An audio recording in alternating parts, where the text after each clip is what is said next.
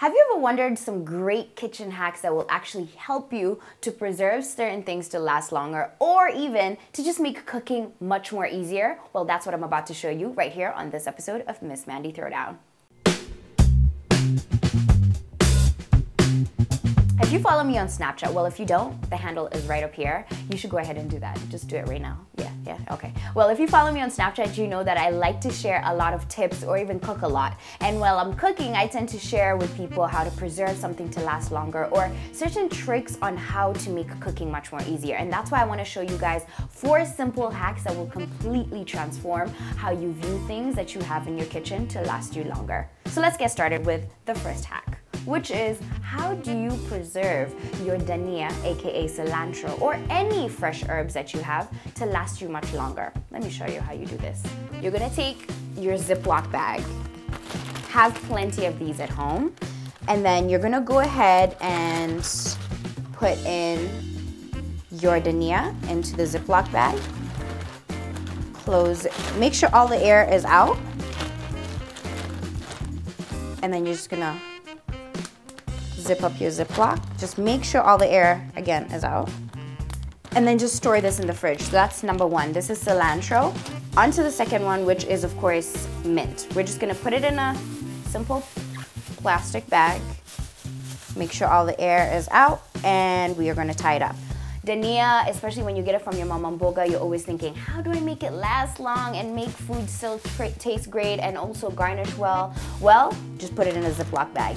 Mint, I use it for my salads. I use it for this lamb that I have in my fridge. Whew, can't wait for the throwdown. But I tend to just preserve my herbs like that. So that's hack number one. Hack number two is how to make your tomato paste last you longer. So once you have it opened, and after you use it, just put in a little bit of cooking oil. This will make it last longer, it will not go bad, and you can also store this in the fridge or leave it out in the open depending on what you have at home. On to hack number three, which is one of my favorite ways on how to store your flours in order for them to last you much longer than they usually um, do last when you put them just out on the shelf. So let's start off with the fact that I always have a ton of Ziploc bags in my pantry and I put all the flours into the Ziploc bag. I just make sure all the air is out and then of course just put it in here. This has been used so many times but the fact that it's lasting me long is because of the fact I use Ziploc bags.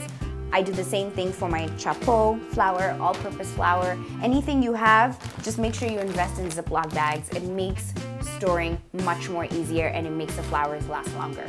This is hack number four where you get to actually part cook your potatoes in the microwave. It's my favorite hack. It makes cooking potatoes so much more easier. Before, all we used to do was literally just have to put them in water, but the microwave has completely changed the game. And you can do this as well for sweet potatoes, if you have some butternut that you want to just, you know, let them get soft real quick, you can be able to do all that.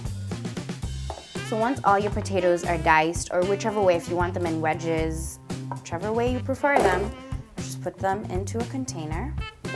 Now, once you have your potatoes in your container, you're gonna go ahead and of course cover it. Now, you're not gonna cover it completely tight because you want the air to circulate in order for the potatoes to get moist. Once you have this ready, you're gonna put it into your microwave. Those are about five potatoes. I'm gonna be par cooking them for about three minutes first to see if that's gonna help them get tender. Then if not, we're gonna definitely increase the time.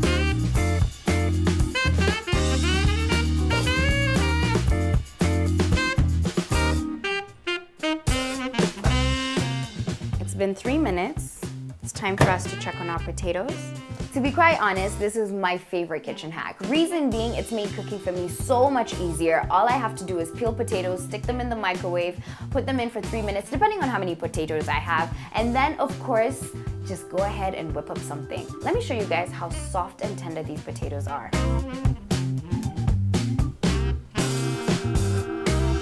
Like seriously super tender. And I'm looking forward to the fact that this hack is going to be so helpful to you guys on the next episode where I'm going to be whipping up potatoes three ways with this simple hack. So make sure you subscribe if you haven't yet. Also share with me what are some of your favorite kitchen hacks. I'd really love to learn from you. Now, I'm not gonna be digging in, but I want to let you know that you need to like, comment, and if you have not subscribed yet, what you waiting for? What you waiting for? Go ahead and share this video, of course. Until the next episode, from me, peace.